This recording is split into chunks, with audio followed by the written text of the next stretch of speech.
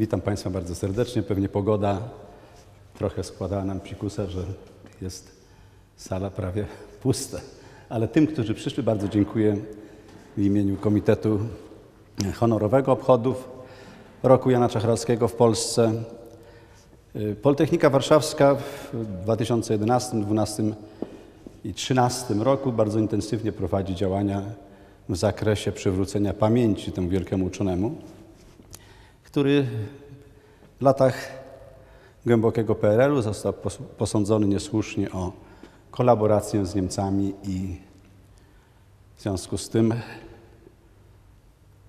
ale może nie uprzedzajmy faktów.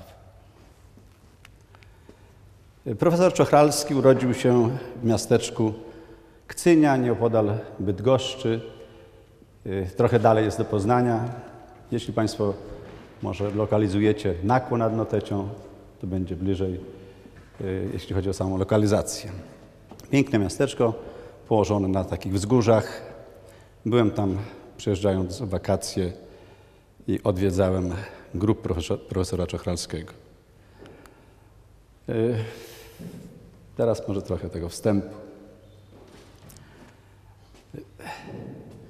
Te spotkania, które organizujemy w ramach Roku Czochralskiego, a także wcześniej, są takim wyrazem hołdu, uznania dla tego człowieka, który swoim działaniem y, przyczynił się do zmiany współczesnej cywilizacji. Urodził się 23 października 1885 roku, właśnie w tej Kcyni koło Bydgoszczy, w rodzinie rzemieślniczej, wielodzietnej. Ukończył seminarium nauczycielskie w Kcyni. Nie zgadzał się z ocenami, które tam zobaczył i podobno podarł to świadectwo. W 1904 roku podjął decyzję wyjazdu do Berlina, to najbliższe miasto akademickie. Przecież to okres zaborów. Szkolnictwo polskie jako takie wyższe istniało, ale wykładano w obcych językach, w tym na Politechnice Warszawskiej, prawda? Dopiero w 1915 roku przywrócono faktycznie język polski i w 2015 roku przygotowujemy się do tak zwanego stulecia odnowienia tradycji w Politechnice Warszawskiej.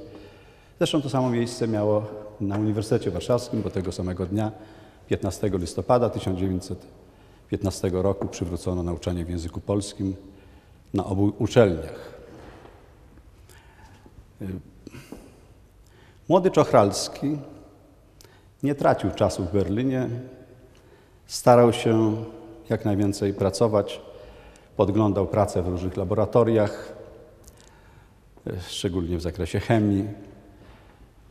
Nawet próbował zatrudniać się w aptekach, żeby gdzieś na zapleczu z tymi odczynnikami chemicznymi mieć do czynienia. Sześć lat później otrzymał stanowisko inżyniera. Nie jest udowodnione, że jest absolwentem Politechniki w Charlottenburgu pod Berlinem. Nie ma śladu po tym. Mówimy, że no, pewnie został inżynierem. Powiedziałem, że nie tracił czasu, czyli również udzielał się towarzysko. W tym czasie poznał właśnie swoją piękną żonę, Margaretę z domu Hasse, z rodziny holenderskiej, zamieszkującej od kilku wieków w Niemczech. Młoda Margarita studiowała fortepian. W związku z tym został wciągnięty w grono artystyczne, pokochał muzykę, w szczególności Chopina. Zresztą pani Margaryta też była wielbicielką Chopina, co miało miejsce potem tu już w Warszawie, jak zamieszkali, że razem wspólnie wyjeżdżali często do Żelazowej Woli. Było to udane małżeństwo, praktycznie Niemka. Od wielu lat osiadła rodzina i rodziców i dziadków w Niemczech. Towarzyszyła mu dzielnie przez całe życie nawet w tym najtrudniejszym okresie dla niego, kiedy został wykluczony ze środowiska akademickiego.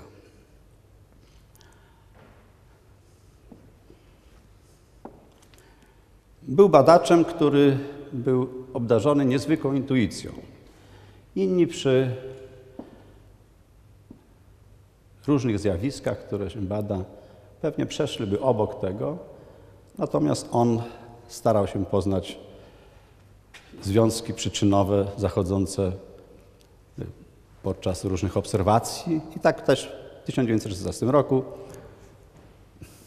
podobno w roztargnieniu maczając pióro zamiast w atramencie, zamoczył w tygielku z roztopioną cyną, dokonał powolnego wyciągania i zobaczył, że wyciągnął mały drucik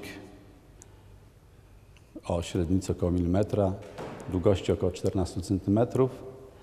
Przyjrzał się temu, no ale jeszcze nie było wiadomo, że to jest jednoziarno monokryształ. Poddał to badaniom i się okazało, że y, ta otworek na stalówce zadziałał jak kapilara. Pewnie wtedy zręcznie to wyciąganie, y, prędkość wyciągania równa się szybkości krystalizacji cyny i w ten sposób mógł powstać monokryształ, czyli jednorodna struktura, jednoziarno o y, bardzo jednorodnych, poszukiwanych wówczas własnościach. Zapewne jeszcze nie wiedział, że to odkrycie później będzie bardzo przydatne w technologiach elektronowych, bo przecież Czochralski zajmował się chemią, metalurgią, yy, krystalografią. O tym będę jeszcze mówił dalej. To odkrycie spowodowało, że Czochralski stał się jednym z najbardziej znanych, rozpoznawalnych polskich uczonych.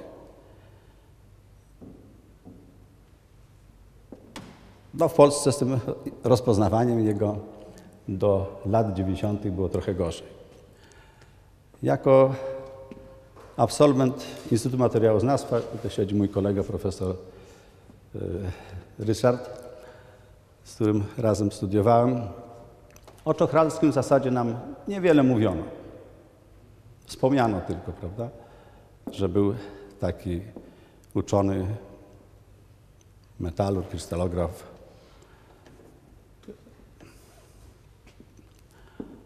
W 17 roku, 1917 roku, w wieku 32 lat, pozostaje twórcą i kierownikiem wielkiego laboratorium metaloznawczego we Frankfurcie nad Menem. Nazywa się Czochralski, nie ukrywa, że jest Polakiem, szczyci się raczej tym. Powierza mu się tak poważne laboratorium, które, na które otrzymał środki, żeby je wybudować według własnych pomysłów. Tam powstaje wiele prac naukowych, patentów, które są rozpowszechniane przez, czy kupowane przez wielkie gospodarki świata. A nawet w 1925 roku w dowód uznania zostaje przewodniczącym zarządu głównego niemieckiego Towarzystwa Metalurgicznego. Czyli kilka lat później, prawda, mając 40 lat, y, już jako dojrzały y, Badacz podróżuje, jest zaproszony do Stanów Zjednoczonych, przyjmowany przez Henry'ego Forda, który wiedząc, kim on jest, proponuje mu objęcie e, stanowiska szefa laboratorium badawczego w jego fabryce. Ale Czochralski nie podejmuje tej propozycji. Tak wygląda dzisiaj dom urodzenia profesora Czochralskiego. Tutaj się urodził. To jest sprzed kilku lat fotografia, a to wykonana przeze mnie w lipcu niedawno. Widzimy, że ten tutaj już jest ten plac profesora Jana Czochralskiego z logiem roku Jana Czochralskiego. Okres przedwojenny w dalszym ciągu. Y, W 20 1928 roku prezydent Ignacy Mościcki, profesor chemik, poszukuje kadry do odbudowy polskiego przemysłu i za pośrednictwem profesora Mierzejewskiego trafia do profesora, nie wtedy jeszcze nie profesora, ale inżyniera powiedzmy Jana Czochralskiego i namawia go do powrotu do Polski. Y, Rodzina Czochralskich zastanawia się, ale Czochralski, chcąc wychować dzieci w języku polskim, ma ich trójkę, Leonię, Cecylię i Borysa, zawsze tego pragnął, podejmuje decyzję, że wraca do Polski, mając tam bardzo ugruntowaną pozycję zawodową.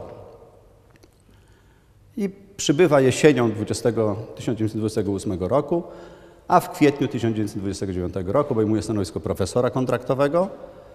No i po raz kolejny powierza mu się budowanie laboratorium badawczego, y, który nazwano, który nazwano Zakładem Metalurgii Metaloznawstwa na Wydziale, źle jest napisane, chemicznym Politechniki Warszawskiej. To mój błąd, jak się czasami mylę, ale Wydział Chemii jest na Uniwersytecie, a u nas jest Wydział Chemiczny. Współpracuje z Chemicznym Instytutem Badawczym, gdzie tworzy dział metalurgiczny, y, z Instytutem Metalurgii i Metaloznawstwa. Y, Obie placówki naukowe wykonują bardzo ważne mm, prace y, o takim przede wszystkim znaczeniu y, zbrojeniowym. Na, to są zlecenia z Ministerstwa Spraw Wojskowych.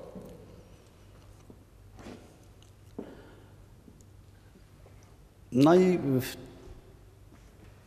kwiecień 29 rok, 17 listopada już 1929 roku w uznaniu dokonań tych z okresu niemieckiego i obserwując jego tutaj pasję badawczą, ale może też, żeby uspokoić nastroje w Polsce, że inżynier, no jeszcze bez takiego klasycznego wykształcenia uniwersyteckiego czy politechnicznego jest tak dzień hołubiony, więc y, dostaje w uznaniu tych dokonań ty- tytuł doktora honoris causa Politechniki Warszawskiej. Jest to w tamtym okresie ósmy doktor honoris causa, drugim był profesor Mościcki, a piąta Maria Skłodowska-Curie. W ubiegłym roku zresztą był rok poświęcony Marii Skłodowskiej-Curie. Jak miałem wystąpienie w Centrum Nauki Kopernik, jeden z przedstawicieli centrum mówi, no zajmujecie się takim czochralskim, a mniej mówiono w tym czasie, w ubiegłym roku o Marii Skłodowskiej-Curie. No, Maria Skłodowska-Curie jest osobą rozpoznawalną, znaną nie tylko w Polsce, ale w świecie, a Czochralskiego odkrywamy na nowo. W związku z tym trochę więcej tego hałasu może jest w tym roku. A w 30 roku, 1930, przepraszam za te skróty takie niepoprawne, Czochralski zostaje mianowany przez prezydenta profesorem zwyczajnym. Bardzo przepraszam za to popijanie wody, ale niestety to jest zawodowa przypadłość, suchość gardła. Tu są migawki, spotkania na Wydziale Chemicznym, obrady Zarządu Głównego mm, Związku Mechaników Polskich. A tutaj jest taki rysunek wykonany przez Czochralskiego w pracy z 1916 roku, która została opublikowana, właśnie to wyciąganie monokryształu w 1917 roku. Później będę o tym mówił. Profesor Czo- Czochralski jest, był autorem wielu patentów. Y, y, w 1924 roku właśnie ten metal B, ban metal, stąd ta literka B. Niemcy mieli zakaz y, bo to było przed przyjazdem do Polski. Y, zakaz produkcji cyny. W związku z tym dostał zamówienie, obszedł jakby ten zakaz, wprowadzając stop bezcynowy. Okazało się, że to trafiona, y, trafiony patent, dobry wynalazek i został zakupiony znowu przez wiele zarządów kolejowych. Y, I okazało się, że można było przy łożyskach ślizgowych tego typu zwiększyć, zwiększyć prędkość techniczną jazdy pociągów dosyć znacząco, co by się może w dzisiejszych realiach także przydało, bo prędkość techniczna y, dzisiaj jest oceniana na mniej niż 30 km na godzinę w przewozach towarowych, czyli jest porównywalna z okresem y, przedwojennym.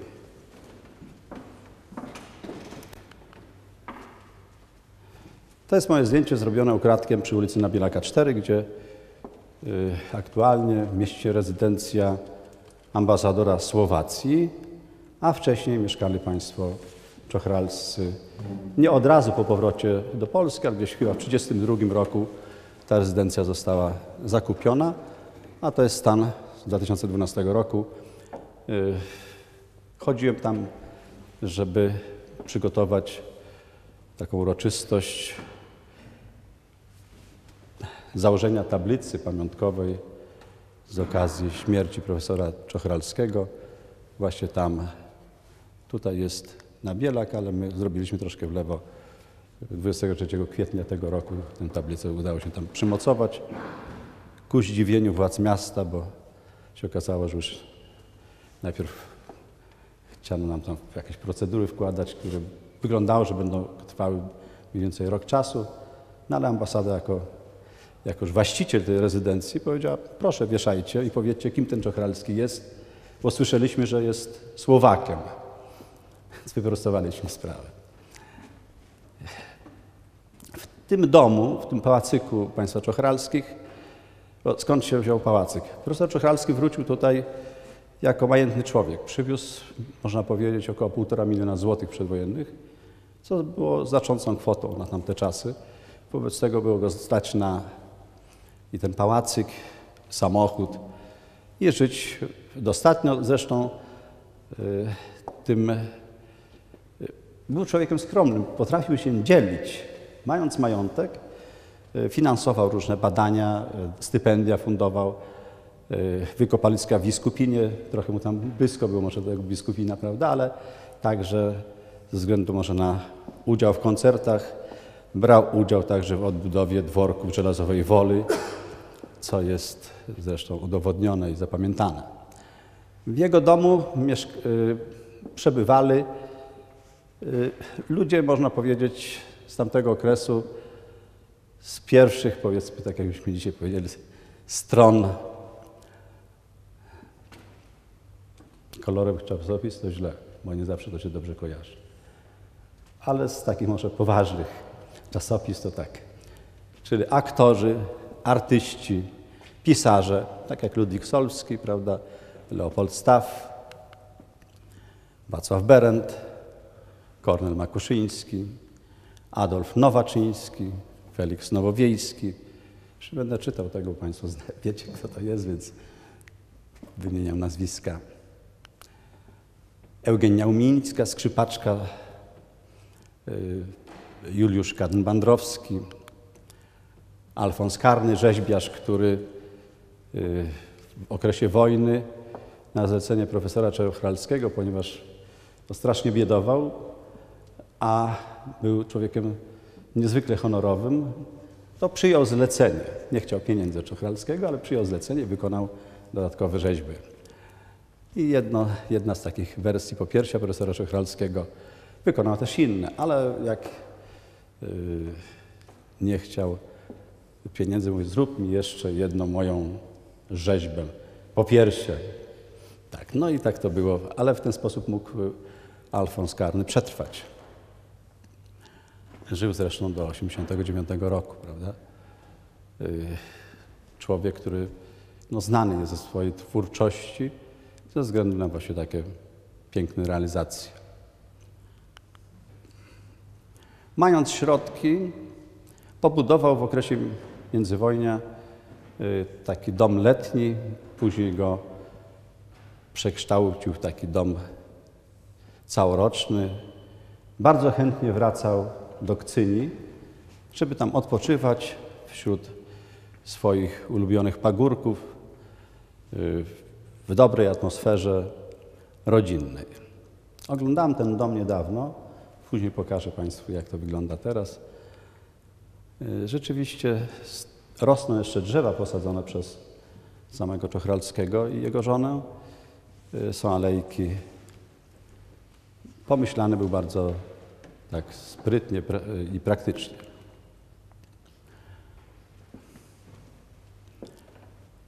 Nie zawsze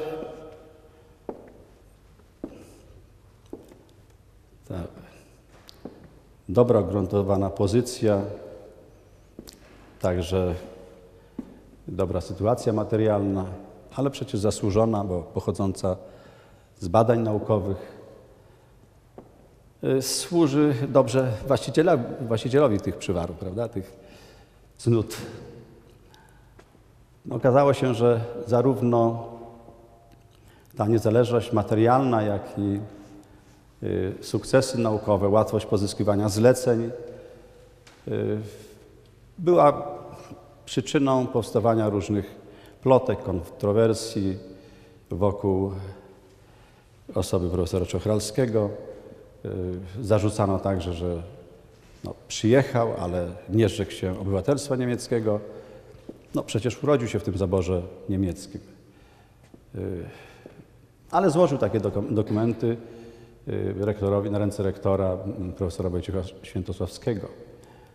Wiadomo, że pracując w laboratoriach niemieckich, na szczęście było to jeszcze przed okresem nazizmu, prawda, kiedy udało mu się wyjechać, no, znał różne tajemnice. W związku z tym Niemcy nie śpieszyli się z taką oficjalną odpowiedzią w zakresie tego obywatelstwa.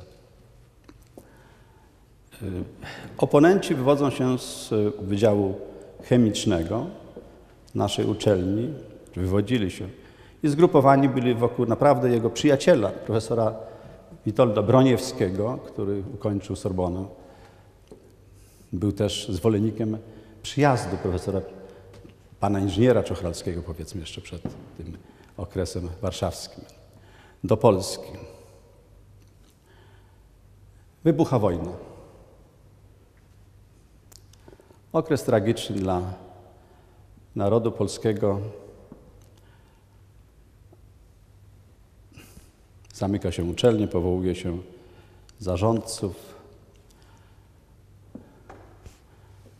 No, chyba tutaj coś przestawiłem, te slajdy, więc może w takim razie wrócę do tych dokonań jeszcze profesora Czochralskiego, y, bo mówiąc o jego dokonaniach naukowych, trzeba by powiedzieć, zanim przejdę teraz jeszcze do tego okresu wojennego, mówiłem już o tej metodzie pomiaru szybkości krystalizacji metali, która została opublikowana w numerze drugim Zeitschrift für Physikalische Chemii. I y, dzięki tej metodzie, starej, bo z 1916 roku, produkuje się ponad 90 produkcji światowego krzemu. No, wiadomo, zastosowania technologii elektronowych. W 1924 roku opatentował omawiany przez, przeze mnie wcześniej metal B. W 1925 roku opracował takie dziwne urządzenie, które nazwał radiomikroskop, pozwalający na wykrywanie zanieczyszczeń niemetalicznych, na przykład na przykładzie siluminu ALSI można było wykryć zanieczyszczenia krzemem, co dawało odpowiednie sygnały. To było sprzężone z, ze słuchawkami takim z radia kryształkowego i rzeczywiście można było wtedy po przejechaniu po wypolerowanej powierzchni próbki znaleźć miejsca, gdzie są kryształki krzemu, a gdzie jest czyste aluminium i wówczas odbierał audycję nadawaną w słuchawkach nadawaną przez maszt w Raszynie. No takie dziwne urządzenie, ale proszę zobaczyć, jaki to jest pomysł, który tak w zasadzie doprowadził do powstania w przyszłości mikroskopu skaningowego, opartego o taką ideę. Przez 10 lat pobytu w Polsce y, profesor Czochralski w zasadzie nie publikował. Prowadził badania, ale nie publikował, czy to było związane z jakąś umową y, podczas wyjazdu z Niemiec. Tego nie wiemy jeszcze. Natomiast bardzo wiele rzeczy robił praktycznych, szczególnie właśnie z zakresu metalurgii, metaloznawstwa, krystalografii. Zajmował się także tym właśnie badaniem stopów kolorowych, zagadnieniami zmęczenia, starzenia stopów, a także korozją metali. No i tutaj jest ten dla niego szczęśliwy okres i dla jego zespołu realizacja zleceń, yy, które były kierowane do jego zespołu przez Ministerstwo Spraw Wojskowych. Uczestniczył w różnych gremiach. Jak przeglądałem materiały, to widziałem, że byli tam przede wszystkim wojskowi, ale inżynierowie i profesor Czochralski. Ma może niewielką liczbę tych y, publikacji naukowych, mówi się ponad 120. Zresztą wydaliśmy je w takim układzie pełnotekstowym. Zrobiła to Biblioteka Główna Politechniki Warszawskiej. Jego metoda przeleżała do lat 50., ta z 1916 roku, kiedy dopiero to w latach 50. Gordon Till i John Little zaadoptowali metodę otrzymywania monokryształów, czy, pomiaru, czy metodę inaczej szybkości, krystalizacji, różnie zwana, w świecie nazwana jest metodą Czochralskiego. Zaadoptowano ją do otrzymywania monokryształów niemetali, czyli głównie krzemu. No, skonstruowano tranzystor i się okazało, że to nie Czochralski dostał Nagrodę Nobla, tylko no już w tym czasie, bo zmarł w 1953 roku. Wrócę do tego okresu jeszcze. A panowie, Amerykanie, no, zgarnęli w zasadzie całą śmietankę z tej działalności naukowej.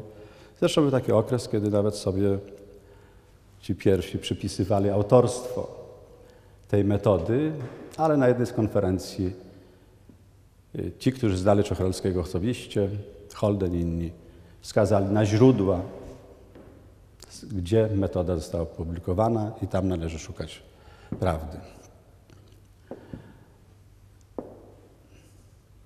Dzisiaj możemy powiedzieć, że był takim prekursorem, zresztą to jest ulubione zdanie profesora Krzysztofa Kurzydłowskiego, prekursor badań naukowych w zakresie inżynierii materiałowej.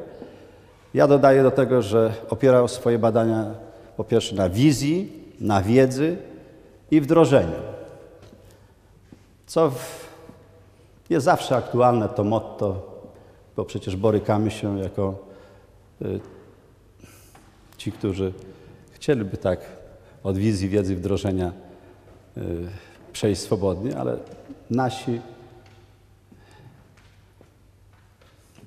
gospodarze władający odbiorem naszych patentów, pomysłów, nie zawsze są dojrzali do tego, żeby szybko wdrażać. W związku z tym polski rynek jest drenowany i potem się okazuje, że ważne nasze pomysły są gdzieś tam